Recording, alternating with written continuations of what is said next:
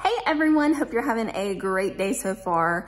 Um, wanted to pop on and talk to you guys about a message that God put on my heart today called Faith Has Follow Through. Amen. Faith has follow through. I wanted to pop on and tell you guys this today. Your actions demonstrate what you stand and what you believe, not just your words. Amen. I wanted to read you guys Luke 8, 21 today. This is going to kind of be our anchor scripture for this conversation today. It says, but he, Jesus, answered them, my mother and brothers are those who listen to the word of God and do it. Amen. So genuine faith in our personal lives is demonstrated by actions that back up that genuine faith. Amen. The Bible says that faith without works is dead. Now, this is not to say that it's all on us, but it is to say that you demonstrate with your actions where your faith truly lies based on your works and based on your actions, not just what you say you believe. Amen. You know, I think it's interesting that in the scripture, it says, my mother and brothers are those who listen to the word of God and do it. Nowhere in there does it say, are those who just believe in God. I thought that was interesting. Don't you guys? So in other words, Jesus is saying, you know, not everyone who claims to believe in me is actually kingdom fam, is actually a part of the fam, but it's those who not only listen to the word, who hear the word, you know, who believe the word, but who then who actually implement it in their personal lives. You know, a mature Christian is not just someone who knows a lot about the word. I know some scholars, some theologians, some people who, you know, they could knock a lot of us out of the park with their biblical knowledge, but they are more immature than some of the everyday believers that are just walking around because they have no follow through. Amen. Faith has follow through. You know, they know the right things, but they're not living the right things. Amen. In their personal life. And your actions tell me more than I ever needed to know, you know, than your words ever will. You know, a lot of people have learned how to kind of get through life just because they don't want to hurt people's feelings or because, you know, they've kind of learned to navigate and they will say a lot of the right things, right? And I don't even think that people have bad intent a lot of the time, right? But there's no follow through. Amen. And it is the lack of follow through that number one demonstrates a lack of maturity, but also that demonstrates that their faith is not truly behind that thing that they say it's behind. Amen. And that's what we're talking about today. So maturity in our lives as a Christian is not just believing the right things. It's acting on the right things. Faith has works. Amen. And true faith will be in alignment with what you say. Amen. Your actions, your fruit, as the Bible calls it, will be in alignment with what you're saying. Because if what you say and what you're doing are different, it's not true faith. It's not genuine faith, as the Bible would describe it. Amen.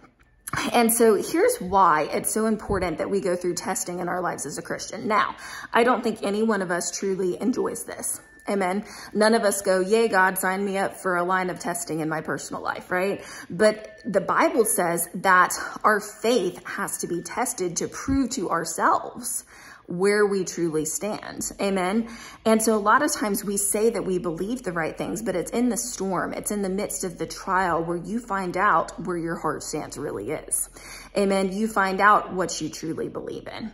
Amen. Because our words can say stuff all day long, but how do you react when you get that doctor's report? How do you react when your finances are going crazy? How do you react when that person treats you wrong? How do you react in whatever situation it is, right? And so when God tests you, he wants to show you your actions not just your words, because your actions reveal the fruit on your life. It reveals where you're at. It's kind of like a status update, right? It's a status report. It's a bug report in our personal lives. And God has to test our faith in order to know whether or not we're ready for next level blessings or whether or not we need to go back around the mountain.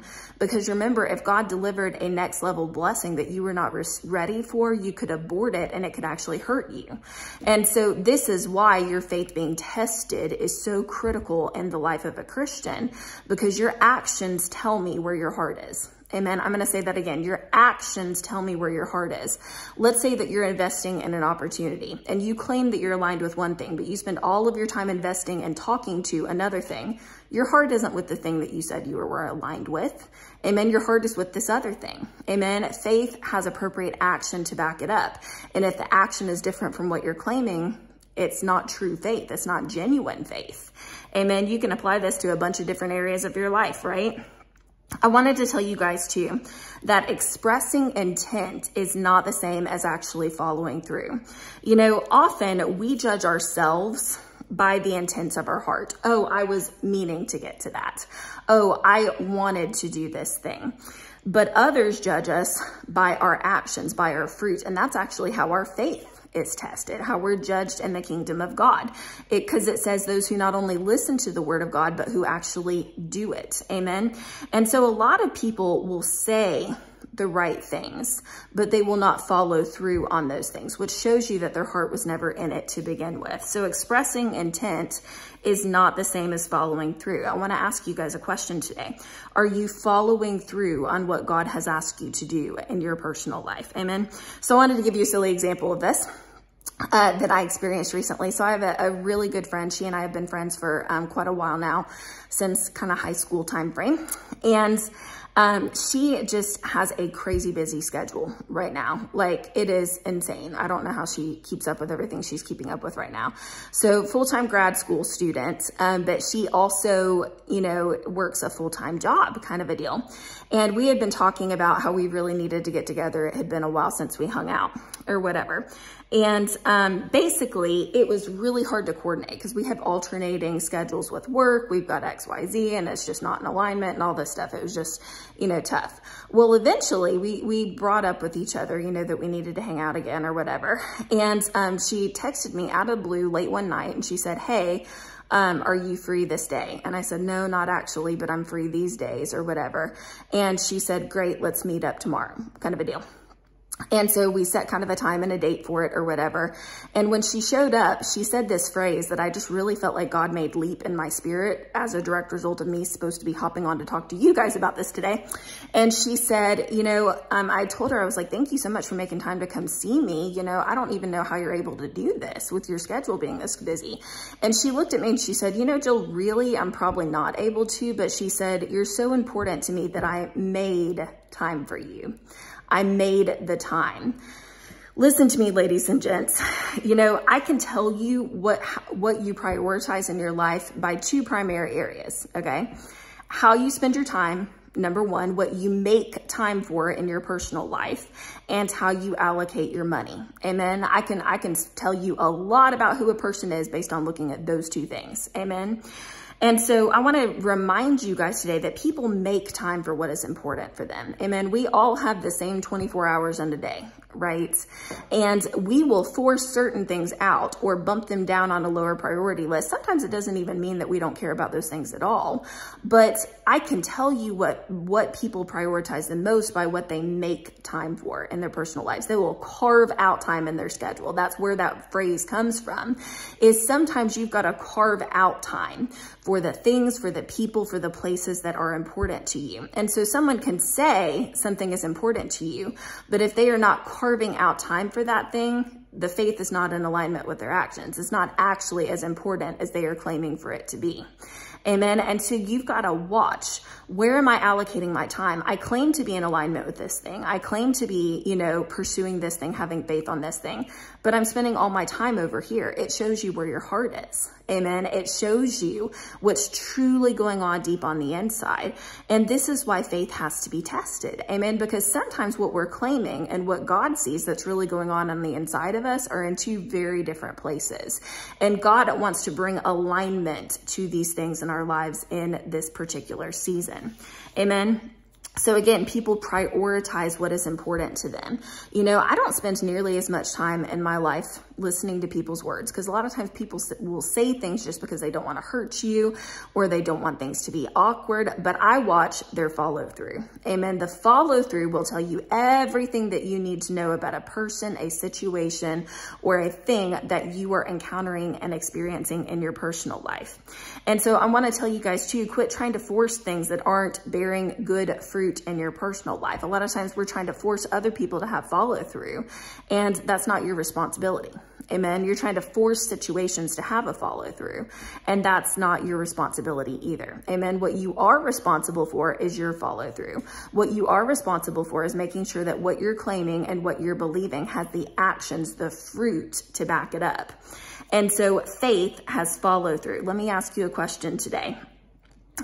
You know, you claim that you want God to provide for you, but are you applying for jobs?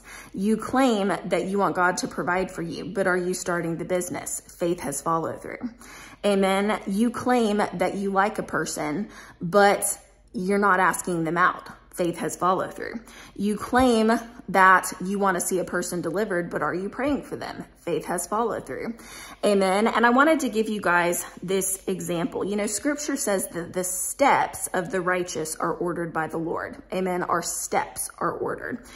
I want you guys to imagine that you are in a car and a GPS is talking to you and is trying to provide, provide direction on the way that you should go.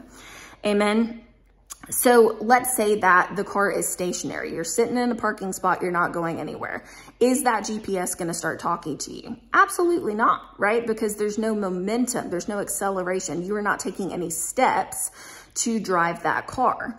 Amen. And so I want to tell you guys today, if you are not taking faith steps in your personal life, God cannot provide direction. It's kind of like a car that's just sitting there in a parking spot. God can want to do all the things for you in the world. He can want to tell you, you need to make a U-turn. This is not the right decision. He can tell you, you're on the right track. You need to turn at this next exit. He wants to tell you those things. But if you're not taking faith steps, Amen. If there's no follow through behind your actions, or if the follow through is in misalignment, then there's not a whole lot that God can do with that. Amen. And so I want to tell you guys today, your follow through is critical and it demonstrates your maturity in Christ. And I really want you to examine those areas of your life where you're claiming one thing, but your actions are demonstrating another thing. Amen. How are you allocating your time and your resources? What do you run to first? Amen. That will show you a lot about where your heart truly lies and a lot about what God is trying to do in your personal life. You got to get in alignment ladies and gents. You know, God wants to do incredible things for you, and it's not all on us. It's not ladies and gents. But faith has follow through. It has actions behind it. It says those who, in Luke 8, 21, my mothers and brothers are those who listen to the word and do it. Amen. God can't help a car that's not going anywhere. He can't help a stationary car. You know, he's like, give me something. Give me a little bit of movement. Give me a little bit of oomph, so to speak. And then I can provide direction. Then I can start talking to you. Amen. But we've got to have some follow through in our personal lives. Amen. Hope you guys have a great day. I'll chat with you again soon.